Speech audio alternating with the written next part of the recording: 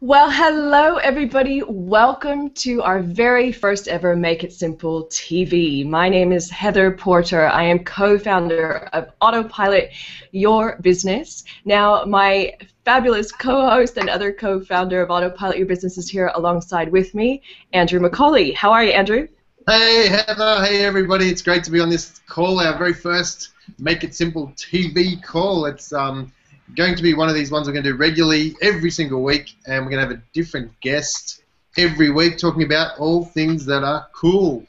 That we are. Now, we came up with the concept of Make It Simple because Andrew and I have traveled around the world working with loads of speakers on the road, and while doing that, we met a, a whole bunch of amazing people authors, speakers, TV personalities, mindset gurus, fitness gurus you name it. And um, since we started Autopilot, we've been really busy with our own business. So we haven't had a lot of time to connect with some of our previous peoples. And so what we're doing is we're using this as a really cool excuse to actually get reconnected to some of the people that we know and to allow you guys to be a fly on the wall to hear some amazing life and business lessons that these people have come up with. And since we are kicking this off, this is our very first one, and we are in fact using Google Plus and Google Hangouts, we thought it would be the perfect time to bring in a special guest named Elaine Lindsay. Now, Elaine is a Google Plus guru, and uh, she basically is in 35, almost 35,000 circles. So this means that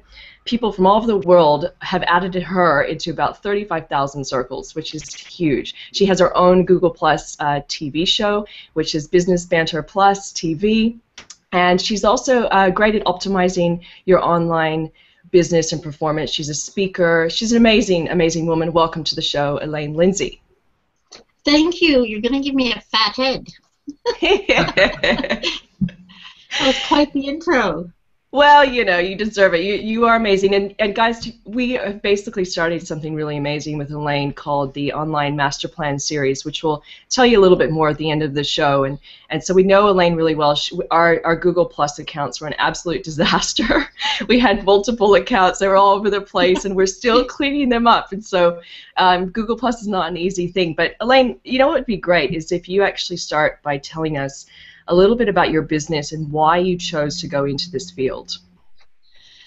Okay, okay. Um, basically, uh, it, it's funny, but my early story is almost like yours, Heather. I started uh, doing websites uh, sort of on a whim. Okay, way, way back, I was an interior decorator.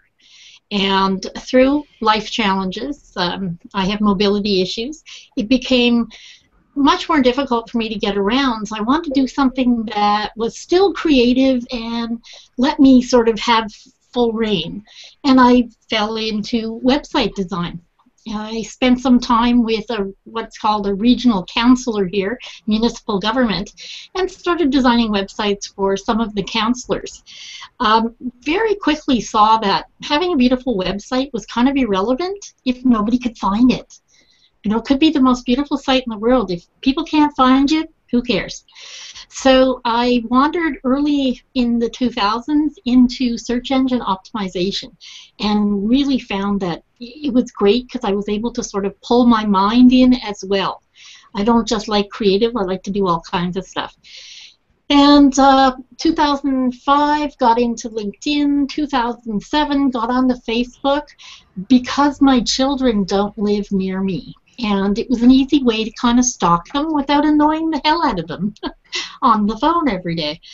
I very quickly saw that Facebook was actually a really good marketing tool for my clients, and I started getting them to use it once the pages came out.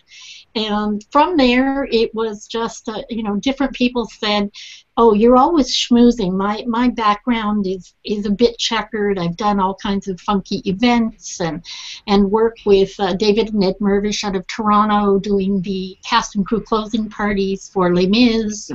Just all kinds of really offbeat stuff, and I love to talk to people, so I know a lot of people. People said to me, You're such a schmoozer. Why aren't you just doing social media? I said, Well, that's not really a job, is it? And I found out, yeah, in fact, it was a job. So I found out where the best place was to go, and I mentored with Mari Smith for a few years. I went to the Relationship Marketing Institute, and something that had basically rung true with me from the beginning was you had to find your own niche. So I did. I was very lucky. I got into Google Plus on day three, and I'm in heaven. I, I heart Google big time. Google Plus is my playground. Why is Google Plus so amazing? Why, uh, like, what is the draw card with it? Because it's kind of new, and people are still asking that question. So tell us why you think it's such a good tool. It, it's true. It, it is still really new. It's really funny. The past, I would say, about three months maybe four, a lot of the long-time marketers and other online big guys have suddenly realized that one of the features here, Hangouts on Air, is absolutely amazing, and they're all jumping on the bandwagon, which I'm really happy with because it means more people are coming to Google+. We have a huge, thriving community, and in all honesty, my 34 plus thousand people, it's not really that big. I have friends that are musicians and authors, and they have millions. So it's a it's a very different sort of platform. We're here because we want to meet more people. We want to share our passion. And we're not limited by 140 characters. We're not limited by having to have people friend us back in order to see what's happening. It's an asymmetrical platform like Twitter, so you have a lot more flexibility. More than that, the Hangouts give us the next best thing to being there. We get to see each other's emotions. We get to, you know, understand the people that we're interacting with in a very different way than flat news walls like Facebook and, and Twitter. As much as a stream goes through and you see images and you can see video, not the same thing from me looking you in the eye. Hey Elaine, if um if someone's watching today and they're like, well, you know, I've heard about Google Plus a lot. I'm sort of going to make the jump, but I'm not sure what would be the first thing that you would say to them that they should think about when they come onto Google Plus? What what would be the one thing that you think would be the best thing or best piece of advice you could give them when they're starting out on their Google Plus account? To start out, on your About tab, there's a lot of boxes to fill out. My suggestion, fill them all. Every single one of them. They mm-hmm. have a reason. And you know, you have to realize Google Plus is a social layer of the top two search engines in the world. That's got to mean something. We're very much tied to search in Google Plus.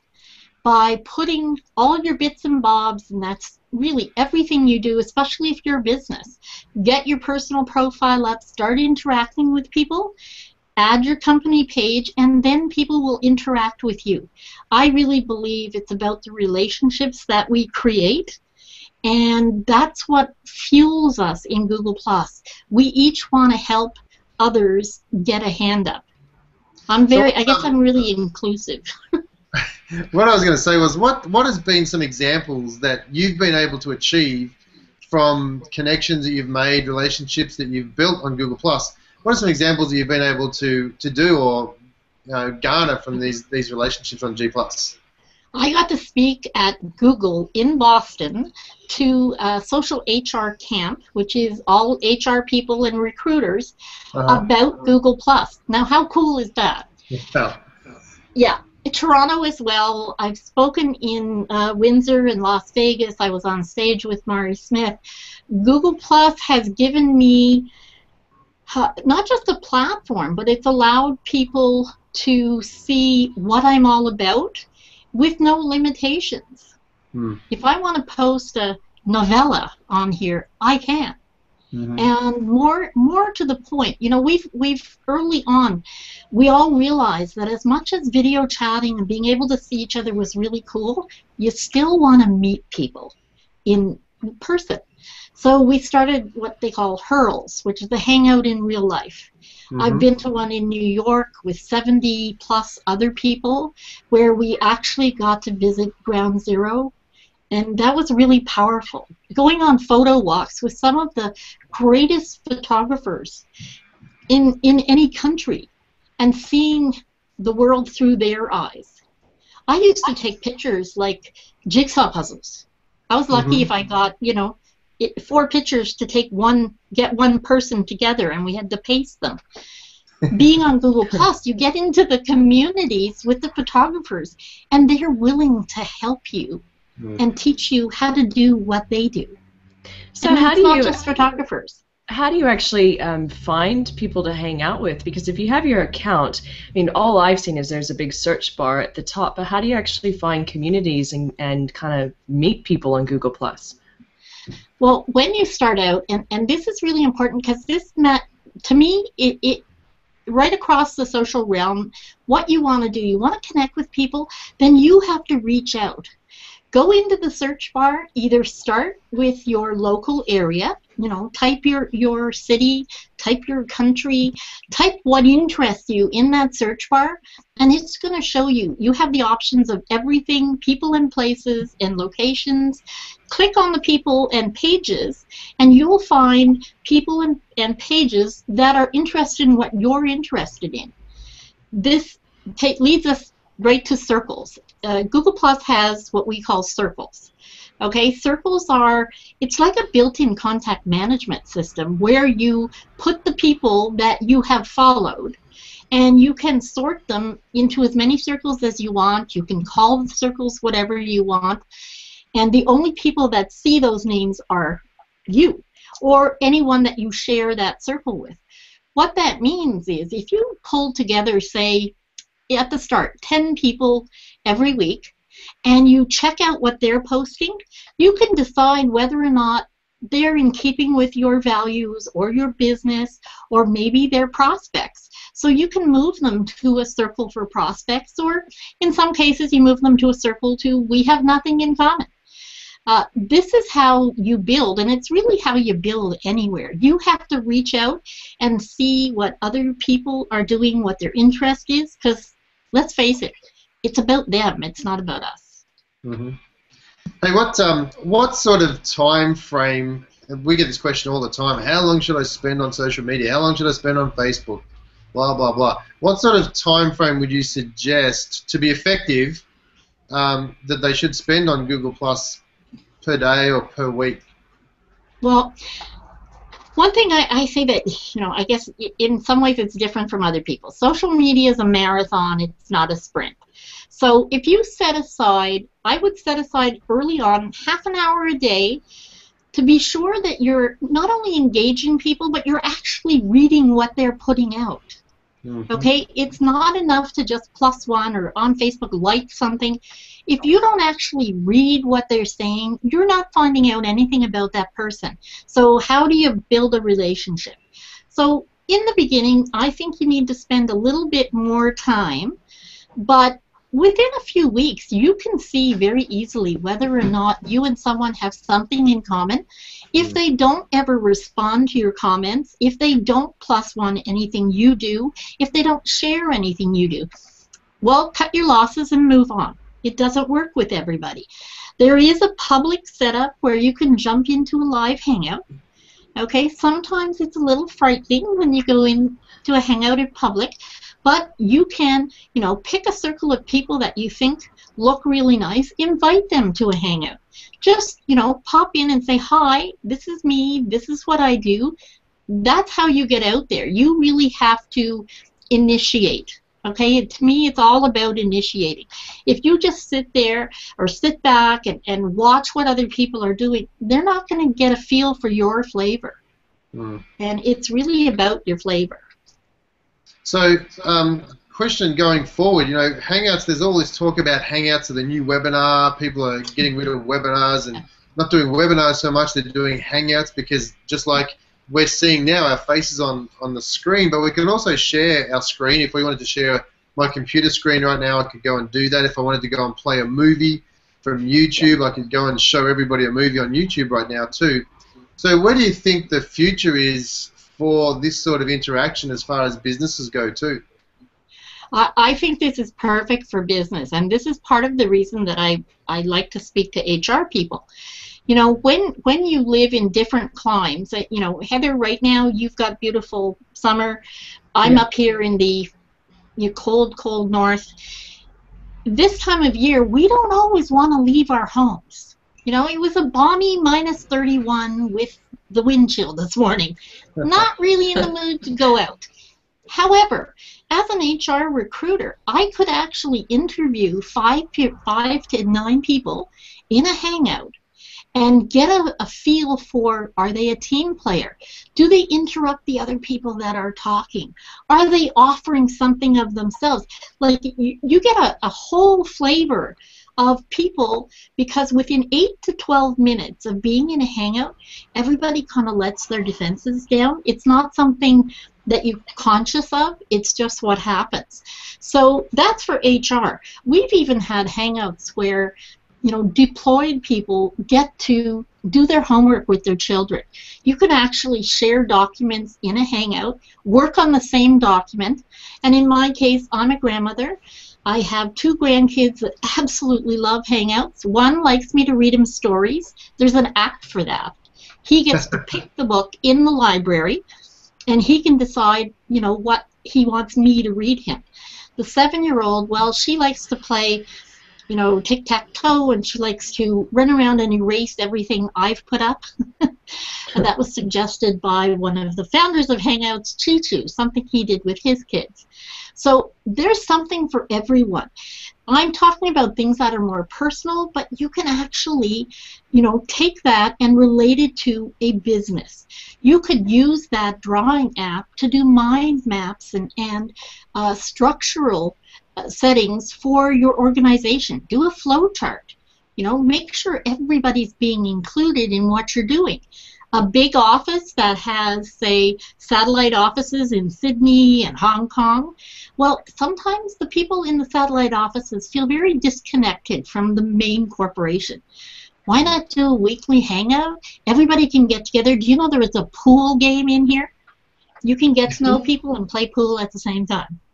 I'm, I'm going to ask you about apps in a few minutes. Yeah. Um, but what I do want to what I do want to um, ask you about is you said that you know you can have eight to ten people on a hangout. Now, in this situation that we're on, there's three of us on the screen. There's nobody else that's uh, on the screen or, or available to be in, on the screen, but people are watching us from either our Google Plus page or our Make It Simple TV page or wherever else we've put it, Facebook.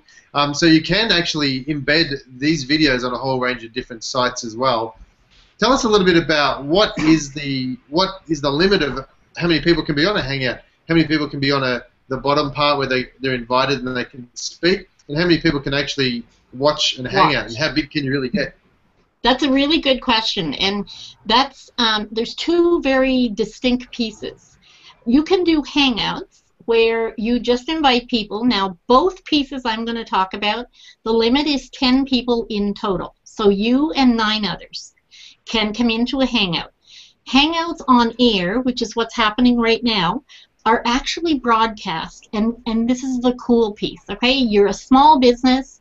This will be broadcast for you, and it's automatically uploaded to your YouTube channel, which is connected to your Google Plus account. It's all done for you. So there it is. While it's happening, it's live. You can see it. And when it's finished, you can take it from your YouTube, download it, cut it up, do whatever you want with it. It's there for your use. It's available to you. So this is really a fabulous medium for all kinds of business. If you hmm. just want to start a little show, you have a show, I have a show. If somebody wants to come in and does some business coaching, or perhaps they uh, even teach music, you can use Hangouts for that. There is a company, uh, Chef Hangouts, that does teaching of uh, great, like four-star chefs will teach you how to cook. This is a monetized system, and they will give you lessons so that you're actually working in your kitchen with your stove and your bowls and what have you, and they help you work out some fabulous recipes. So It's do they actually incredible. do they actually see your kitchen as you're cooking? Yep. Wow, Yeah. pretty Yeah. And and it's great because that way the chef can direct you like maybe you're not cutting properly or you're not being safe in what you're doing. They can absolutely talk to you and talk you through where you're going in your recipe, which is just And you amazing. said, and you said it was monetized. So, so let me guess. People are paying for the privilege to have this chef basically into their kitchen virtually, um, and it's not a public thing. It's a private thing. It's probably hidden It's behind private. a membership level or something like that. And then people sign up, maybe a monthly subscription, and every week the chef comes into the kitchen, or all ten kitchens at once, basically, Absolutely. and he keeps an eye on who's doing what and how they're cooking. And uh, well, that's a great way to really You- spread the services one to many. I like that. You could do that for like a fitness coach, couldn't you? So if you Yeah. had questions on your form or whatever when you're doing Uh-huh. workouts. Yeah, I'm Yeah. actually a part already of a uh, women's mastermind group that is membership only, and uh, there are hangouts every week. Wow. So, Now, so you said, sorry, ahead. Head, um, you said there's ten people that can be invited to that hangout, but Yes. there can be multiple people watching it without being participants in it. Is that right? Absolutely. The hangout the hangout on air is the one that everybody can watch. Now, let me just quickly say the hangout that's not on air, you can actually start it and 100 people, up to 100 can chat in the chat box. Only 10 can actually come into the hangout, but if you mm-hmm. start the video chat, you can actually have up to 100 people talking to the people that are in the hangout Wow. if you do it on air, a hangout on air gives you the ability to not only have it run live in your stream, it will run on your YouTube channel and it gives you the embed code so you can embed the live show on your site, on your blog, wherever you want. There are a number of third party apps now that are actually embedding the Hangouts into Facebook because they don't have anything that works like Hangouts Mm. excuse me. But uh, so your watching public could ultimately be millions. Mm. It's it, you know depending on where you have it and what kind of a following you have, there really are no limits there. Yeah, because we actually have it on our website, and that's for probably a lot of you guys watching this right now. You got the link in the email or our Facebook post, and you're watching it there. But you also we have it on our Google Hangout page, and also inside Facebook. We use um, Lead Pages, and we actually Lead Pages has a cool little template for Hangouts, and we just put that straight in. Um, Andrew, you were saying earlier I wanted to talk to you about apps, and I did too. I lit up when I heard that. What's the deal with these apps you keep talking about? The apps inside the Hangout. Yeah, how do they Yeah. work, and, and Yeah. how do you put them into your Hangout? Okay. When you come into a Hangout, okay, you're going to have a menu on the left hand side of icons. And you get a few to start that are usually, uh, you have your chat box. So there's a chat inside the Hangout that only the people in the Hangout can see. Then there's screen share. So we can share our screens of something, you know, some other, whatever you have on your desktop or your laptop, or you want to show somebody a, a diagram or photos or what have you, you can use the screen share. There's also what's called Hangout Toolbox. Shout out to Moritz and Gerwin and the guys. Way to go. Hangout Toolbox gives us these beautiful lower thirds that you see at the bottom of the window. You don't have to have any graphic experience. It actually gives you an open box with your name, and an area for a tagline, and you can, if you have a logo, you can add your logo. You'll see Heather has a logo, Andrew has a logo, I have a logo. That's all in the generic lower third that you can add by yourself. Pick the color that you want for the stripe at the top of the box, and that's all free. In that Hangout toolbox, you also have the ability to control the sound in your part of the Hangout. So for anyone that's hard of hearing, you can actually turn people up. If, if perhaps their uh, mic isn't really loud, you can turn it up for yourself within that Hangout toolbox. There's also Comment Tracker. There's Google Effects, which I see someone's about to use.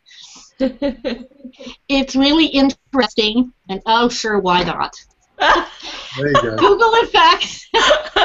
Google Effects is a really fun little app. and I'll show you. This is this is what my grandkids think. This is the best thing since sliced bread, because they get to see oh. grandma look really funny. There's also what they call randomizer that will just change what you have on. Oh, that one's lovely. and move it around and give you all kinds of, of weird goodies. This came out because people wanted something sort of fun and interesting to do in a hangout. And I think, let me see if I can get to it. You can offer somebody a birthday cake with a little candle for their birthday. And we even have sound. Just in case you're being really funny, you need a clap, or perhaps things are getting a little deep and desperate. and they so, come so out with Elaine, news. Elaine, what's um? Uh, I I didn't mean to cut you off, but I do want you to give us your top three apps because these apps are always coming out. There's always new apps coming out. There's always changes and stuff like that. Um, when you finish up wrapping up what you're talking about, I want you to give us your top three favorite apps at the current time because I know that probably changes on a weekly yeah, basis. Yeah. Um, top top of the list won't change ever. Hangout Toolbox. It has Uh-huh. so many uses. Now, one thing that's an app, but but you have to set it up ahead of time when you're setting up your Hangout on air. Something that we didn't even talk about, but now you can schedule your Hangout on air way in advance, and you can get all your links right at that time when you're scheduling beautiful thing now when people say yes or maybe not only does it go on their calendar but they can then take the links as well so they can choose to watch you on youtube watch you in google plus or they can take the embed link and go watch you on their own website which i think is phenomenal that's a hmm. real that's a real boon for sure one of the newer ones is called control room and it's specifically for Hangouts on Air. Want everybody to know these aren't just for Hangouts on Air. Any Hangout has a bunch of apps. The fun ones like Google Effects and Storytime and all of that are really useful. YouTube, actually, I'm going to say I think Google Drive is probably my third favorite. So I've got Hangout, Toolbox, Control Room, and Google Drive gives you the ability to not only work on documents, but work on presentations, work on like a type of Excel sheet, all of that together within a Hangout. And I've done Hangouts for hours on end when uh, a partner and I have been working on, uh, you know, some new document, or we want to put up a new article. We're both working on a piece, or we're setting out our content calendar. It's great to be able to work on it both together. The app that I won't count in those three because it's on the outside is called Q and A. So when you schedule that hangout, if you click Q&A at the time, people can actually uh, ask questions ahead of time before your event, and it goes on that event page, and it will it will circulate live within the hangout while you're on air. And you know, as we all know, everybody loves the sound of their own name. So it's a great way to reach out to your customers and your prospects when you're in a hangout and you're answering their question. You can give a little shout out and you know make their name known. Awesome. Very cool. Now, I'd like to ask, as we're starting to wrap up, what are your top three tips or pieces of advice for somebody that's wanting to use Google Plus in their business? Okay. Uh, first off, because Google's tied to search, Google Plus accounts and your information should be tied to your website and blog.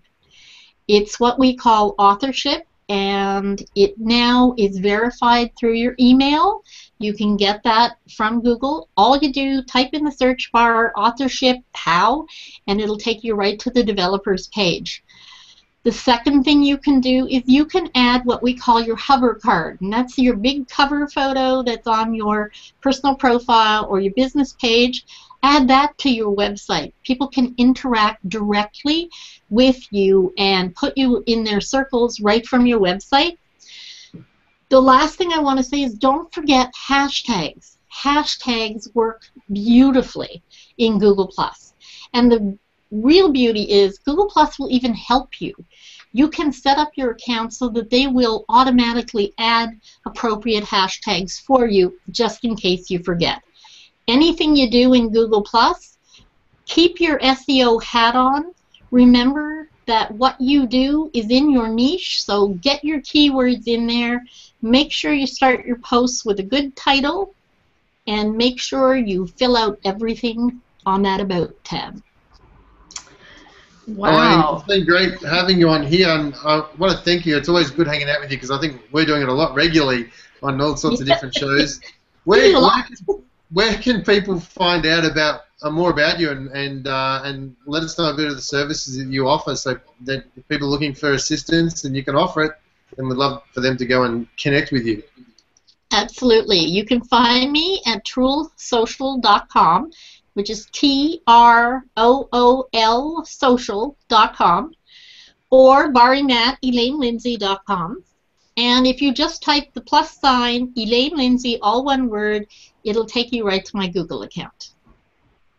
Awesome. Nice. And, and, earlier I mentioned as well that we're working on something with you called the Online Master Plan Series.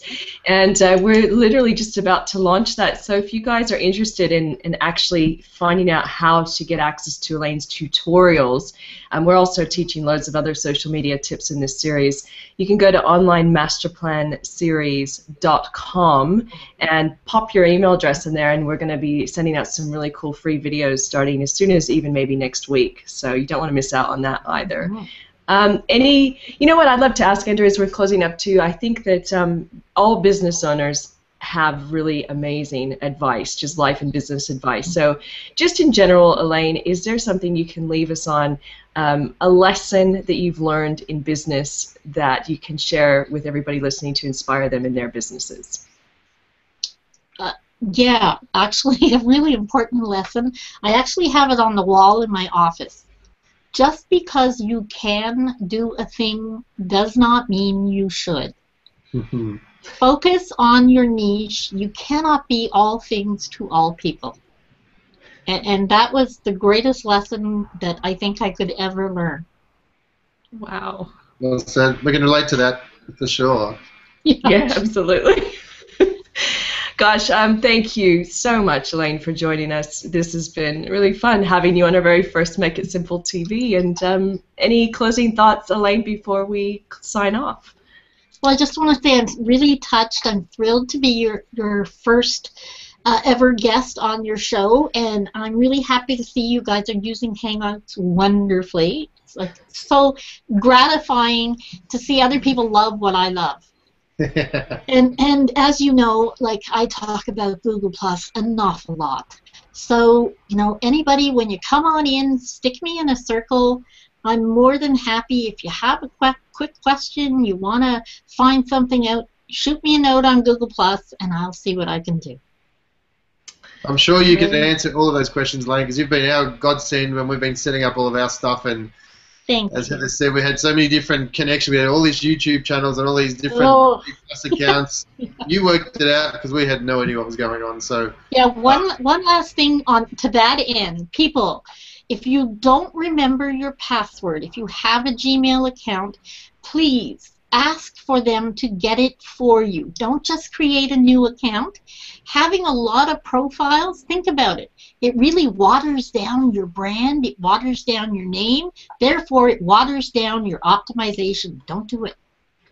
Good advice. Now, if you want to be kept in the loop on our weekly Make It Simple TV so you don't miss a show, all you need to do is hop on over to aybguide.com and request our online survival guide, and we'll be keeping you up to date on our ongoing and, and upcoming shows and guests. And thanks again to all of you, wherever you are in the world, for joining us on this episode of Make It Simple TV. See you later. Bye.